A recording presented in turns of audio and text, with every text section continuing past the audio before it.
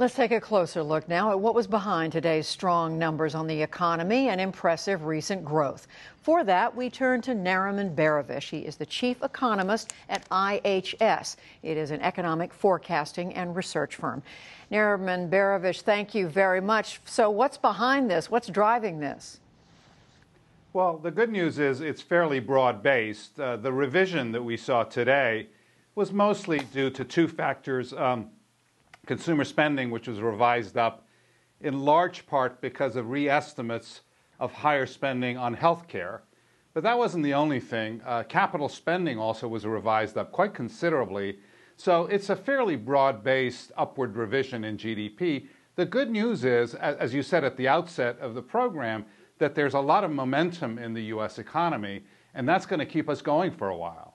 Well, it seems like just yesterday we were being told that uh, that the economy was was not picking up. So, it, does this represent a sudden turnaround, or were the fundamentals there all along?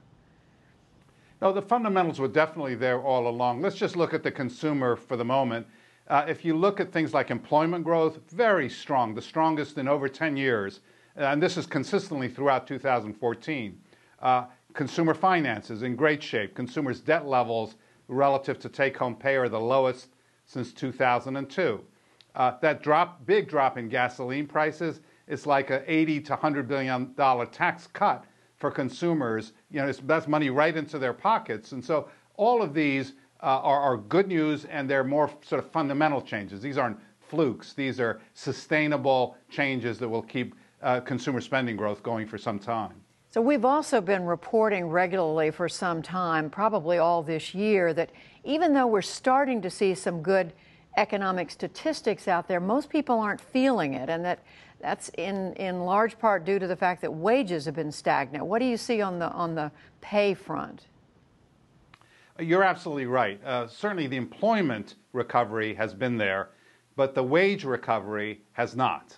And I think that until very recently, I, I, should say, the, the most recent numbers, the November numbers, for example, on wages, did show an upward movement. Uh, the, the income data that came out today suggested decent growth in terms of wages and salaries. So we, we may actually be seeing the beginnings of a recovery uh, on the wage front.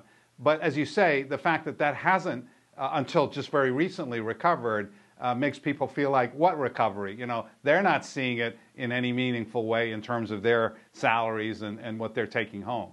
Is, is there an explanation for why wages are starting to go up?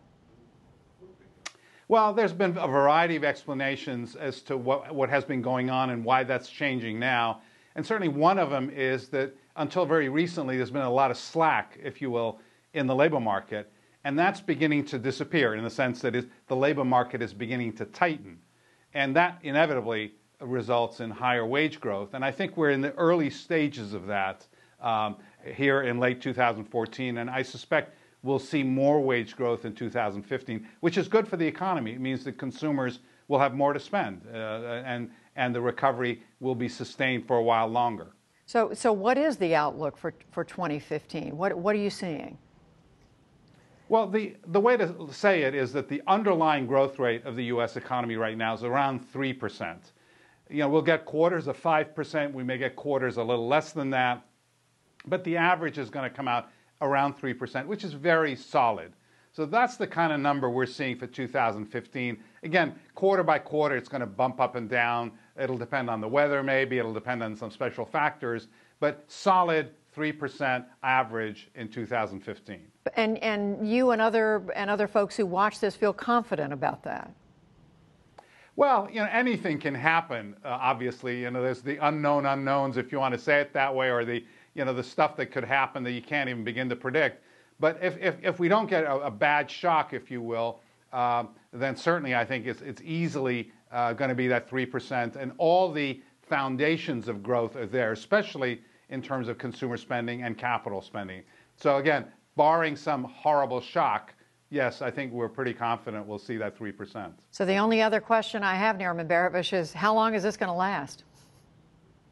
At least a couple of years, um, uh, in the sense that inflation's not a problem, and usually that that leads to some you know, aggressive tightening by the Federal Reserve, which we don't see for the next couple of years. So I think 3% plus or minus growth through 2016, I think is quite achievable.